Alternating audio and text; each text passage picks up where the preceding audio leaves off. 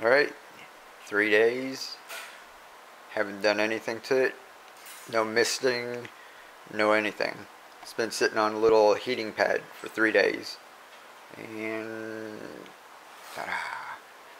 Yeah, see it's still wet because it's feels a little warm. Had it on the lowest setting. But there we go. Now we just sit that out on the porch in the sun. Seven to ten days, see how it goes.